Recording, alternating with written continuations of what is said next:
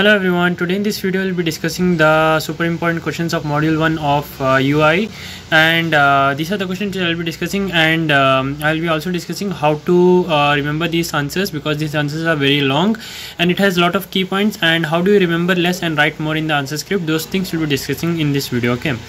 So uh, if you found this video helpful make sure hit the like button. Subscribe to my channel for uh, more videos like this. Your support helps me a lot.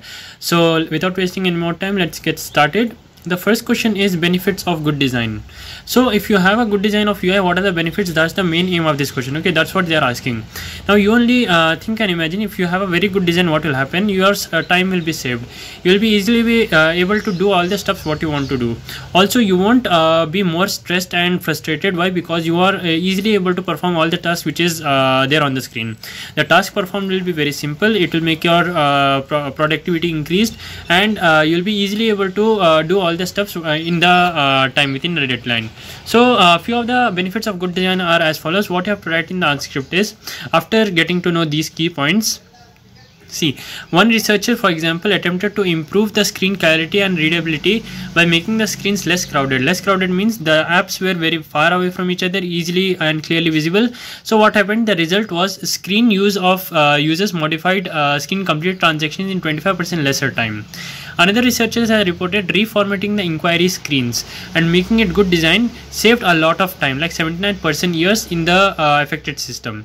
And other uh, good uh, design um, benefits include the training time is reduced because easily you will be able to train the um, system and do the uh, things and employee satisfaction is increased. So whatever good things come in your mind you have to write all those what is in the benefits of um, good design. So uh, for more information go through it the second super important question what we have is the direct and indirect uh, manipulation of the graphical systems. What is manipulation? Manipulation means interacting and making the changes. What is the direct and indirect method? Direct method means you are going and doing the same thing on screen. Like for example if you click on menu of something you'll be getting options like file uh, open close and uh, insert delete everything you'll be getting right? Those are the direct manipulations. Indirect manipulation means you are making use of some assistant or something else and performing some action. For example for the blind they'll be using a pointer. For the uh, people who who are uh, disabled they will be using uh, voice speech recognition right? Those things are the indirect manipulation. Uh, that those are the same things what you have tried here. So in the answer script what you will be uh, writing is the four uh, main points. The system is portrayed as an extension of the real world. Because in real world whatever the function you perform the software is an extension of it right? Because uh, without the software our real world task will be very hard to do.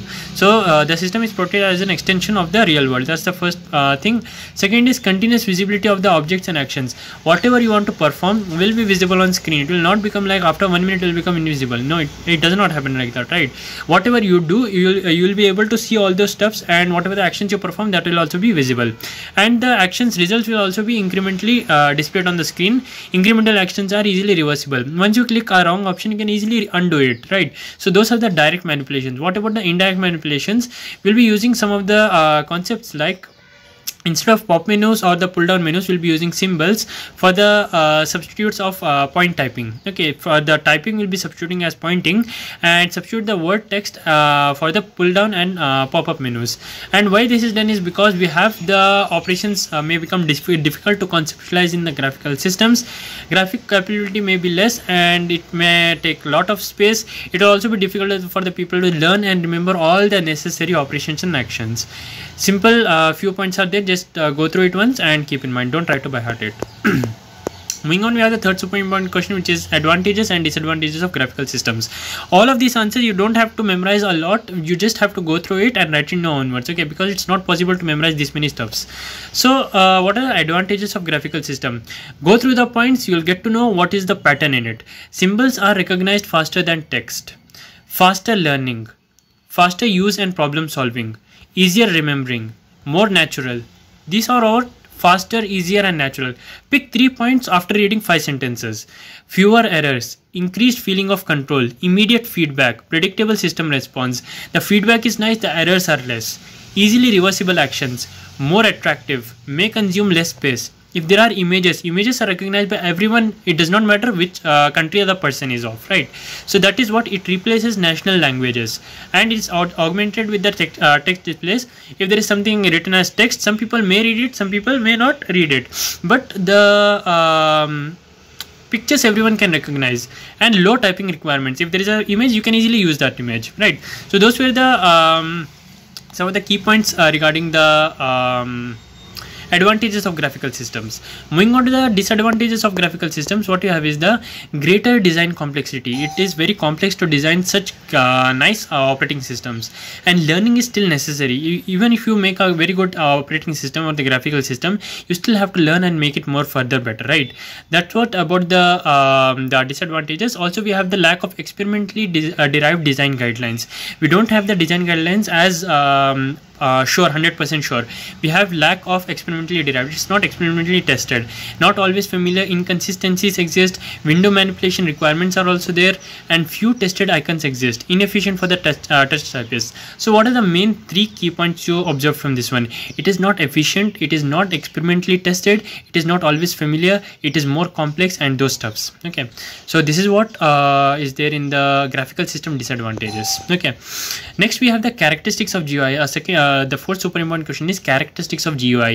Here also you just have to read the key point and if you want you can just go through the content here and afterwards you can uh, write it in your own words. So what is the main uh, key points present is sophisticated visual presentation. That means it's a, a very uh, nice presentation in the graphical uh, user interface. You'll be having a very good interface, right? So let's take an example of you opening the laptop itself.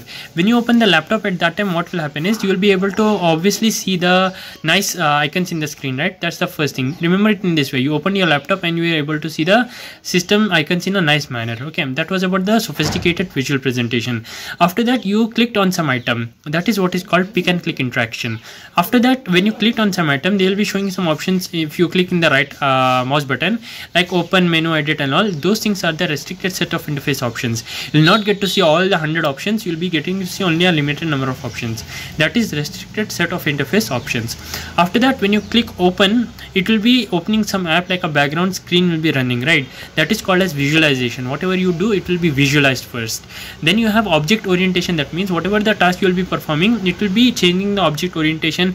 It will be consisting of many stuffs. Like for example every uh, uh, paragraph may contain the sentence word and the letter. And every data object can be of three types. It can be of the data information or the container of information or the variables or it can have the physical objects of the real world in a visualization form. These are the things which are present in the uh, representation.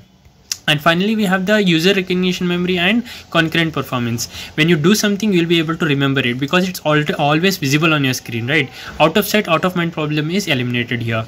Concurrent performance means obviously it's not like one uh, task you are performing that is only performed. No. There are 100 tasks going in the background which are not aware about. Those are all the uh, characteristics of uh, GUI moving on to the next super important question which is GUI versus web okay. Now uh, listen one thing to me. GUI is a secure and nice like uh, rich people and this is like a thief and very uh, useless and very uh, means poor. Okay like that you can remember. GUI what other things is it um, screens appear exactly as specified okay just keep listening to me you'll get the flow. Screens appear exactly as specified. How you specify the screen to be appearing it will appear like that only. In web what will happen? It is influenced by the hardware being used. Since it is very weak it will be influenced by the external factors. Okay. And user focus. Focus is, is more on the data applications and information and navigation. Here the data in the application is the main uh, focus of the user and information and navigation is the um, focus of the web. Okay. And data is typically created and um, created and used by the known and the trusted full of unknown content the typically uh, the data is created and used by the known and the trusted. That means the uh, trustful people use the uh, data and web is used by the unknown people. Like the it is having unknown content in that. Information is uh, trusted sources are trusted sources are not trusted. As i told you this is useless and this is very nice. So all the good things are written here and all the opposite of that is written here. Okay. So you just have to remember this uh, this one and you can uh, write the opposites of here. Okay. And what are the user task what does user doing the graphical user interface install configure open personalize use close data and those things are done here. Here what you will do link to a site fill out forms upgrade the programs and uh, register for services download the things familiarity and so on those things okay? And presentation what you will do the windows menus control data toolbar and all are present here and whereas in uh, here what you'll have the link and the uh, browser options and the urls those things will be present here. Navigation will also be done by menus list entries here the navigation will be done by links bookmark and type urls so it's very simple. Gui is very nice things. Like it will have the specific things. Sources are trusted. Information is nice. It will be organized and it will have the menus bars and all. And uh, whatever the thing is visible it is um, useful and it's familiar to everyone whereas all the opposite thing you have to write in the web. Like it is uh, not useful it is a very insecure thing. It has very much uh, content which is not nice it's not organized and it has links and the types urls and it is not secure and all the data is consisting of uh, unknown users and the data is not uh, verified and the people uh, are uh, not trustworthy regarding this data. Okay. These are the things you have to write for the gui and the web. Okay. At least five things you have to write for gui and the web moving on we have the principles of uid which is the last question of the module uh, one super important questions. So uh, the how do you memorize this one is just go through this. It's written in the alphabetical order. Read it uh, thrice you will get to know uh, the flow. Like for example read uh, just here with me and uh, note down the means. Hear to me what i say and note down what i'm telling. Aesthetically pleasing it's very beautiful clarity whatever you have written in whatever is there in the uh, user interface it's very clear. Compatibility different devices can be compatible with each other. Comprehensibility it can be comprehended in the same screen. Configurable it is consistent. The you have the direct control over it. Directness there is nothing hidden in that. Efficiency familiarity you'll be familiar with the user interface. Flexibility if you want to make any changes. Forgiveness means if you made any mistake it will not shout at you. It will show you the possible options to recover from that. Predictability you'll be able to know what uh, you are going to do what will be the uh, action for that. If you click and uh, open an app it will obviously open an app. That's what predict, uh, predictability is. Recovery means if you have lost some data you can also recover it. Responsiveness it will respond very nicely. Simplicity it's simple. Transparency whatever you do is clearly visible to you. Trade-off means if you save the space time will go. If you save the time the space will go. That is the uh, trade-offs okay? How do you remember this one? Is alphabetical order. What is for a? Aesthetically pleasing. What is for c? Clarity compatibility comprehensibility uh, configurability consistency and control. D for directness. E for efficiency. F for familiarity. F for flexibility.